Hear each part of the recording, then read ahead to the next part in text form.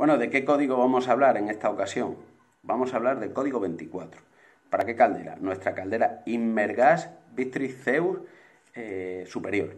Vaya, el código 24 está relacionado con los pulsadores. Ahí hay una anomalía, a ver qué está pasando. Vamos a mirar siempre eh, que haya buen contacto, vamos a reiniciar la máquina, vamos a mirar las tomas a tierra, importantísimo, vamos a mirar la polaridad, incluso pues tal vez dándole la vuelta al enchufe, siempre lo hemos tenido puesto de una manera y ahora hubo obra en la calle, cambiaron las fases, bueno, pues ahora eh, le damos la vuelta y bueno, de maravilla si, si queda todo solucionado.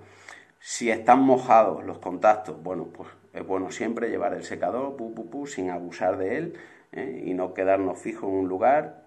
Si hay alguna humedad, pues tratar de solucionarlo. En más de una ocasión ya salvé yo alguna placa electrónica y también eh, mandos ¿eh? y pulsadores. Pero que sepamos que esto está ah, relacionado, el código 24, con los pulsadores. ¿Vale, amigos? Chao.